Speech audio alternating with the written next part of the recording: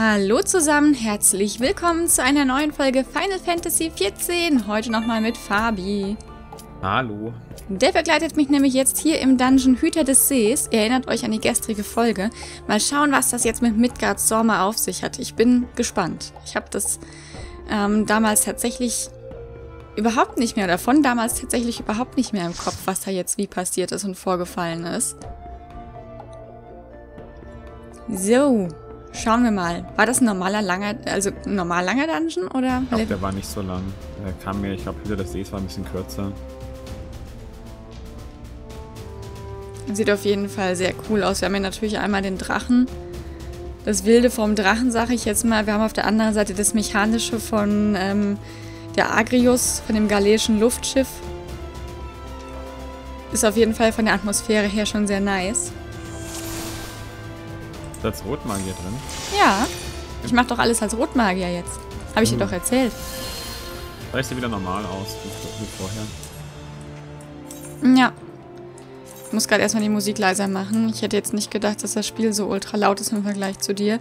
Ich habe dich schon um einiges raufgeregelt. Okay. Ich habe dich tatsächlich um 10 Dezibel raufgeregelt, aber das Spiel ist immer noch deutlich lauter als du. Der Tank heißt CC Top. Äh.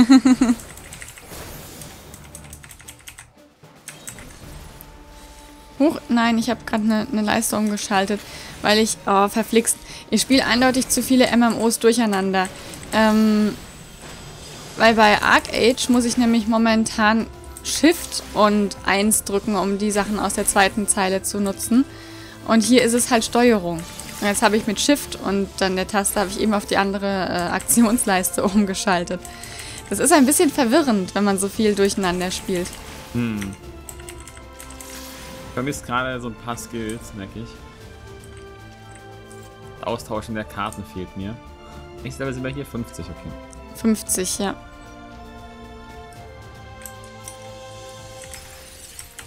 So, habe ich jetzt natürlich eben prompt direkt schon wieder mein, mein Instant-Cast zwei oder dreimal versaut.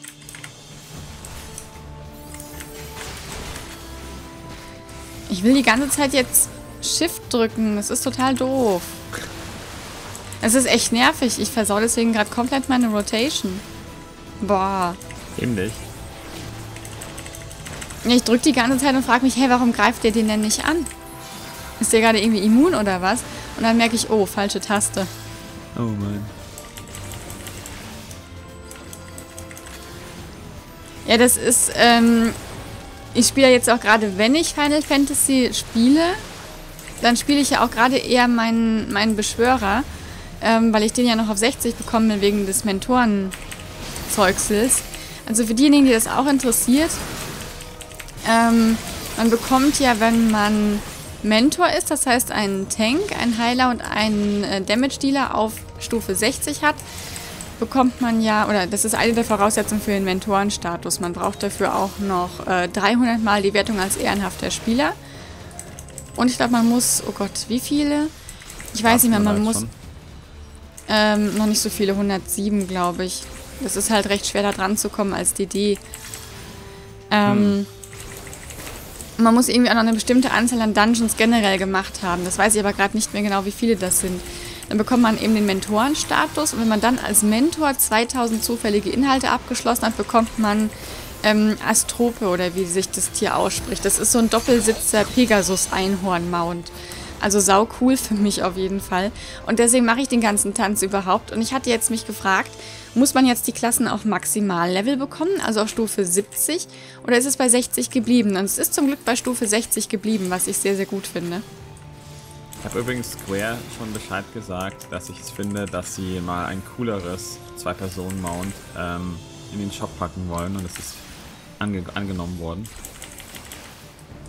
Also Haben die Sie ge- gesagt, es kommt was, oder Sie haben Ja, gesagt, nein, es ist registriert? äh, Deine Sie, äh, sie geben es weiter mal an die Entwickler. Ah, der hatte Support geschrieben dann. Es ist doch voll cool, die Mogri-Kutsche. Ich hätte die Ah. voll gern. Ich habe nur einfach gerade kein Geld dafür. Ansonsten hätte ich mir die Ah. schon lange geholt. Ich finde die so nice. Fliegende Kutsche. Das ist so cool. Du hast die ganze Zeit die Good was. King Mogelmock Musik. Das ist doch voll toll. Naja. Ja, dann sind schlechte Karten. Das Problem ist, da ich sie nicht, nicht wegwerfen kann, weil ich das erst mit ähm, 70, glaube ich, bekomme, ähm, muss ich jetzt die ganze Zeit die Karten halten, bis sie auslaufen. Hm. Oder haben wir jetzt den ersten Boss? Ja, die konnten hier nichts Besonderes. Einhänder.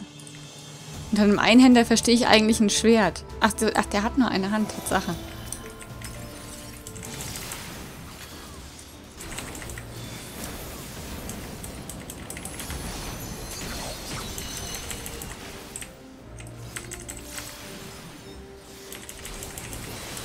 Ah. Boah. Dass die immer wegfliegen müssen, kurz. Ach, genau, das, war der mit den, das war der mit den Treibstofftanks. Die musstest du nach außen schubsen. Ähm, weil die in die Luft gehen. Ah, okay. Dann ja, hat gut. immer mehr da und die explodieren immer wieder neu. Und die machen halt immer einen Area-Effekt um sich Wenn man die nicht rausschubst, dann hätte man einen, einen, extrem großen Bereich dann irgendwann. Muss man die anklicken oder einfach eine Attacke draufhauen? Ähm, ich glaube eine Attacke. Okay.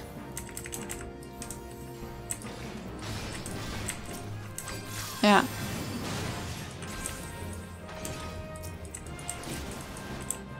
Beziehungsweise ein Auto-Hit reicht auch.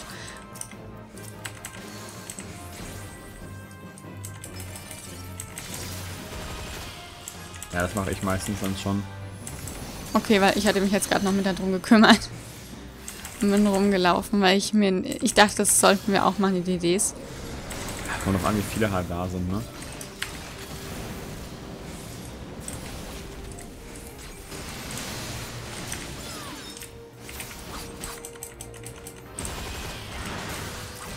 Schon. Mach das schon. Okay, weil ich dachte jetzt, dann sag mir bitte, wenn jetzt zu viele da, äh, wenn es zu viele sind, weil ich hätte jetzt gesagt, das sind zu viele. Nö, noch ist easy. Das ist ja komplett nur ein Bereich voll gerade. Also. Weil ich wollte nämlich jetzt gerade schon helfen. Ja, man muss halt nur dafür sorgen, dass man freie, Feld, freie Flächen hat. Und das wäre jetzt einfach easy. Vor allem, wenn er die ransaugt. Oh, jetzt sind sie halt alle da drüben. Wenn einfach nur die Seite wechselt.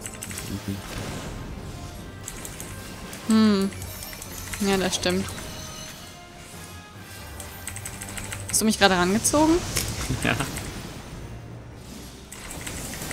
Dann hast du mich unterbrochen. Das war aber auch nötig. Ich stand doch gar nicht daneben.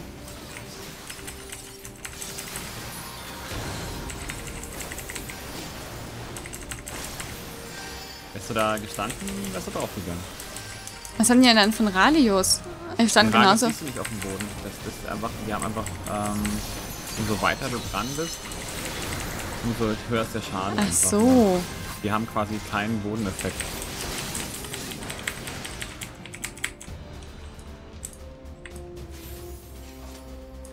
Boah. Die Schatztruhe mitnehmen. Ich wollte gerade sagen, gibt es hier keinen Loot, ja. weil ich hatte das Viech gerade nicht, ich hatte die nicht gesehen da drin. Was ist das? Schmier... Ein Schmiergel? Handvoll Schmiergel. Oder Schmiergel vielleicht, Kali. Ja, ich habe auch gerade, als ich es dann gelesen habe, ich dachte, die meinten damit so ein Schmiergel halt, wie Schmiergelpapier. ja, ja, ja, ist schon, ist schon richtig, Kali. Sagt dir nicht Schmiergel was? Ja, schon, aber das ist eine Handvoll Schmiergel. Äh, äh, ja, das sieht man aber auch. Ja, das sieht man aber auch erst, wenn man den Tooltip liest. erst dann sieht man das. Vorher kann man das nicht erkennen.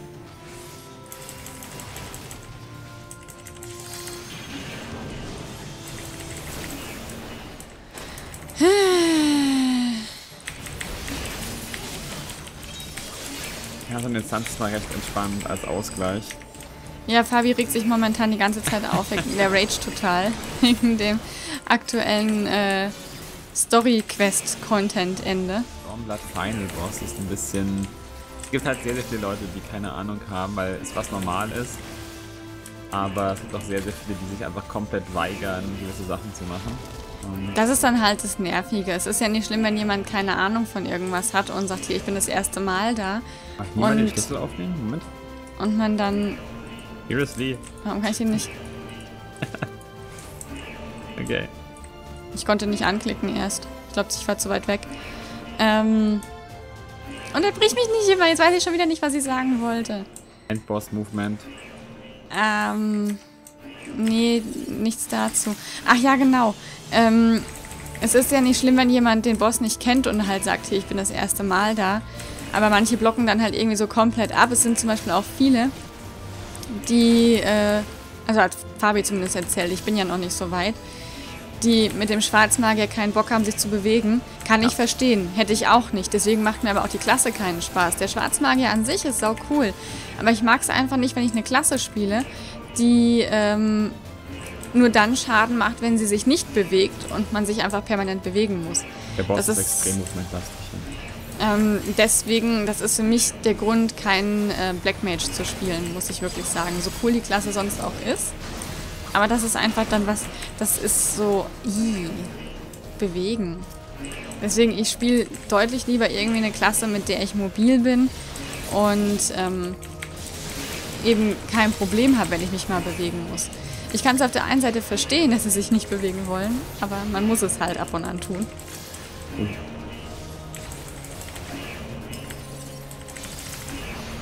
Schwarzmagier sind Fitnessmuffel. er meinte, dass bei ihm der Beschwörer sich nicht bewegen wollte immer. Ich Echt? Schon geschafft, ja. Dabei kannst du ja nur als Beschwörer alles in der Bewegung machen. Du kannst, okay, du kannst, manche Dots kannst du nur setzen, wenn du still stehen bleibst. Aber du hast ja auch noch den, den Skill, dass du die Dots beide instant setzt. Das kann ich nur als Beschwörer, kann ich das gar nicht verstehen. Oh. Du hast Ruinra, was du... Ruingar hast du dann am Ende sogar. Ja, beziehungsweise Ruingar dann später. Ich habe jetzt momentan auf 53 habe ich jetzt nur Ruinra. Und ähm, das kannst du ja auch aus der, Bewe kannst du auch aus der Bewegung casten. Ich glaube, bei Ruin Gar musst du wieder stehen bleiben. Aber da nutzt man halt mal Ruin Ra und nicht Gar. Kannst du nicht. Ach, das geht nicht? Weil ich habe nämlich... hochgewertet. Du kannst nicht mehr ab, du kannst nicht mehr downgraden. Ja, ich habe nämlich, ich habe Ruin und Ruin Ra. Echt? Ja, ich habe beides. Okay. Weil die auch unterschiedlich funktionieren. Für Ruin muss ich halt stehen bleiben, dafür kostet es mich weniger Mana. Ruin Ra kostet mehr Mana, aber ich muss nicht stehen bleiben. Wow. Verdammt.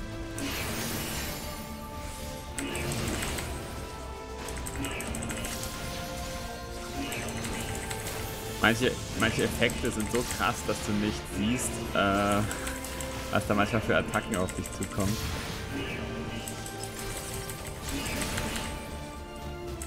Deswegen stehe ich so gerne weit weg.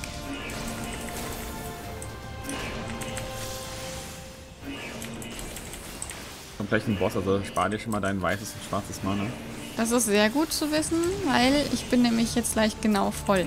Kannst du dir eh mal am Ende von Gruppen sparen, ne? da brauchst du eigentlich unbedingt immer noch. Ja, mal. ja, klar, da haut man das dann nicht raus. Das wäre ja Quatsch, das ist ja dann sowieso total Overkill. Da mache ich ja viel, viel mehr Schaden. Warum nimmt denn niemand den Schlüssel mit? bin doch schon dabei. Die läuft alle weg. Ich war doch schon dabei, du alter Jammerschlappen, du. Jetzt habt ihr gar nicht Fabis schönes Outfit mit Fransen gesehen. Hast du das dabei? Ach nee, du kannst es jetzt doch, du kannst es hier wechseln, dabei. oder? Ja. Das Kanonenschiff erinnert mich an irgendwas. Aber ich kann es nicht, ähm, kann es nicht switchen darauf, weil ich hab's ja transmoggt. Ach so, ja, stimmt. Fabi sah halt aus wie so, ja, ein Pocahontas. ähm, beim nächsten Mal, Kadi, gebe ich dir einen Tipp. Ähm, ja? Ich wollte, ich habe deswegen auch wegen der Combo gefragt, damit, damit du einen Damage-Buff bekommst. Ach so, ah, okay, gut. Ich dachte, du meinst, dass ich dann generell direkt damit anfangen soll. Ja, gebe ich den jetzt trotzdem noch. 30% mehr Damage für 30 Sekunden. Wenn ich Glück habe, kriege ich das sogar noch wieder voll. Ah, ich habe es voll bekommen. Toll, ausgerechnet jetzt macht er diese, diesen Mist da. Ähm, ja, der hat ja auch nicht gezielt mit dem Teil. Deswegen äh, fliegt er dann, er fliegt immer auf den, zu dem er einen Fokus-Target hat.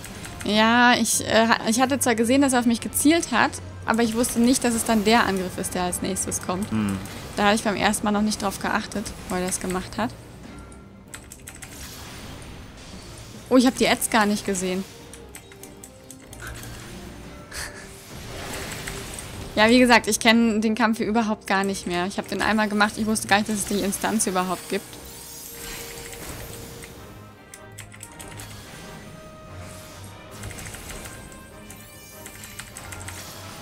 Oh! Wäre ich jetzt ein Schwarzmagier gewesen? Bist du stehen geblieben? Ja. Ja, nochmal Damage Bump.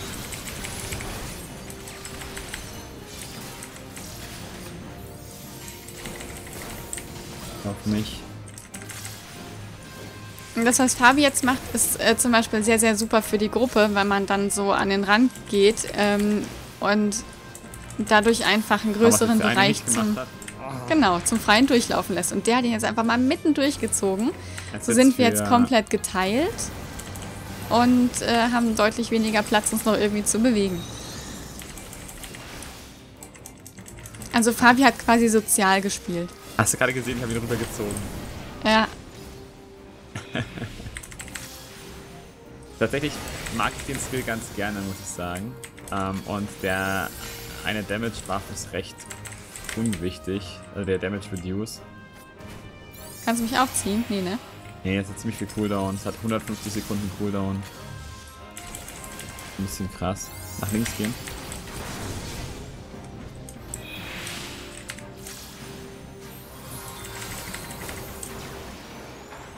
Aber ich finde den Cooldown auch ein bisschen hoch. 150 Sekunden, warum muss das so hoch sein? Oh, Stufe 53. Oder bin ich jetzt? Nee, 52. Ähm, und irgendwas Neues habe ich jetzt bekommen. Eilen Ähm. war das oder Retzen, glaube ich. Mm. Job, Job, Job. Da ab Stufe 52. Also gut, das ist jetzt gerade für mich sowieso uninteressant.